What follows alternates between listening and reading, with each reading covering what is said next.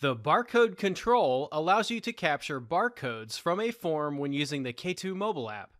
To set it up, you must configure this control when you're designing the form and configure rules to handle the events and data captured using the control. Note, this control is not a display control, therefore it will not be visible at runtime on the form.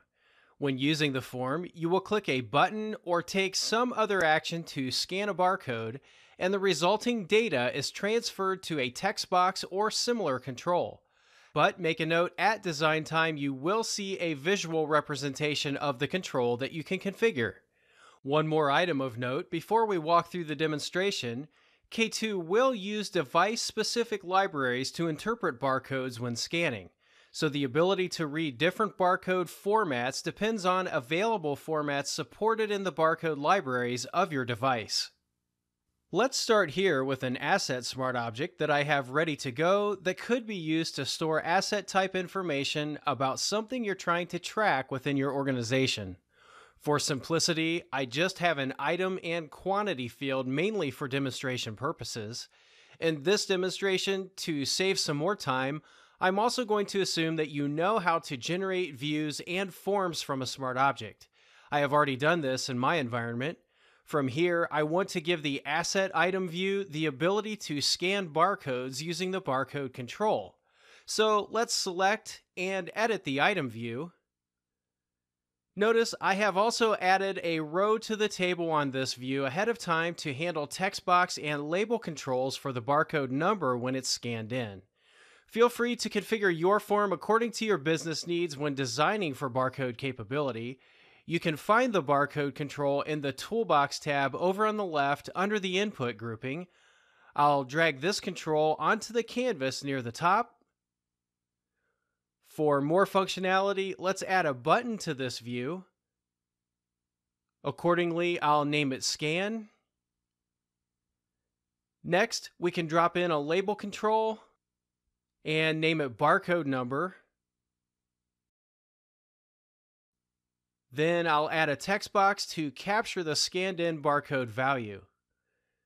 This is all I want to do with controls at this point, so the next task is to work with the rules to handle barcode scanning related actions.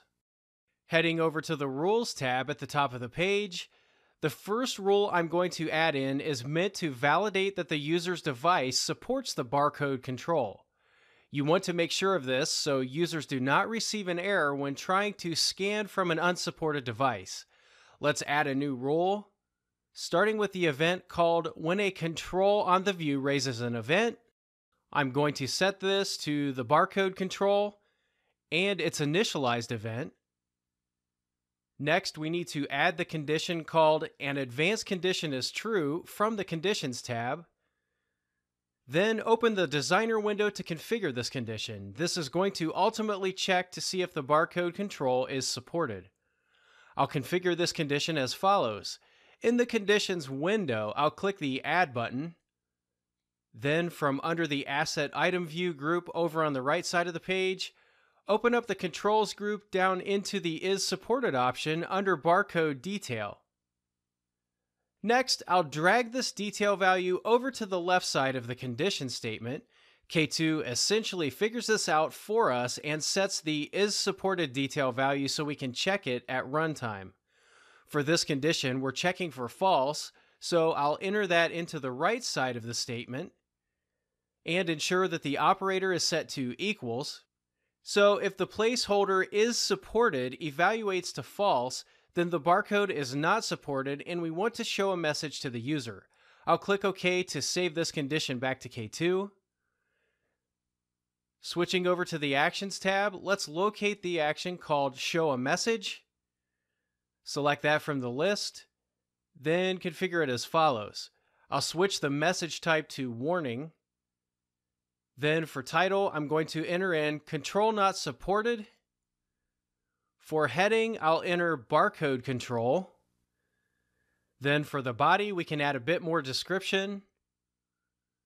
From here, I'll finish the rule. Then we can add the next rule for when the scan button is clicked. The event for this rule will be when a control on the view raises an event. I'll select the scan button control and its clicked event. Next, add an advanced condition as follows. In this case, the condition handles if the device is supported and allows the rule to continue. I'll add another advanced condition is true statement here. Let's edit it. Again, open the barcode control and pull over the is supported option to the left side of the condition statement. This time enter in true for the right side and make sure the operator is set to equals. That looks good, so I'll close this window out. Over on the Actions tab, I'll add in the action called Execute a Controls Method. Select the barcode control, which will default to the scan method. For this exercise, we don't need to configure anything else on this action, so I'll click OK. I do need to add one more rule to handle the scanned in barcode value when the barcode control is changed. I'll do that now. So for the event, I'll select when a control on the view raises an event, from here, select barcode, changed event. Next, I'll add an action to transfer data. Upon configuring this action, we can drill down into the barcode control and grab its value option from the controls grouping on the right. I'll drag this over to the text box control we added to the form earlier, and that should do it. I'll go ahead and finish up this view. Then check it in by selecting that option from the list here in the middle of the page.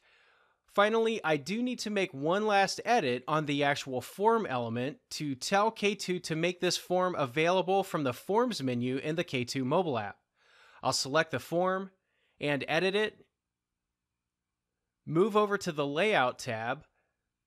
From here, we can click the outline of the form area to see the form properties appear expand the Advanced section of the properties, and select the Application Form property. This field is required for the form to show up on the Forms menu in the K2 mobile app. I'll finish and save this edited form, and I'll also check it in. Now, to demonstrate, let's jump over to a mobile device view where I have the K2 mobile app already open. I do have this instance pointing to my K2 Cloud environment where I just built this form. So by opening the K2 mobile menu in the upper left, we can access the Forms menu option under System. Note you may have to refresh this view in your app if you don't see the new form yet. Let's open up the asset form. We can select that from the list here. Notice you can see the scan button that we added to the form. I'll put some info about a hard drive in here. Then press the scan button. At this point, I can use the camera view to zero in on the serial number barcode. And that looks good.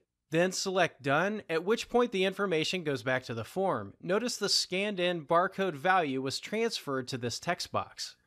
To sum up this lesson, we basically dropped the barcode control into our smart form, wired up various rules which include accounting for barcode reading support on a device, scanning the barcode, and storing the read in value to another text box control.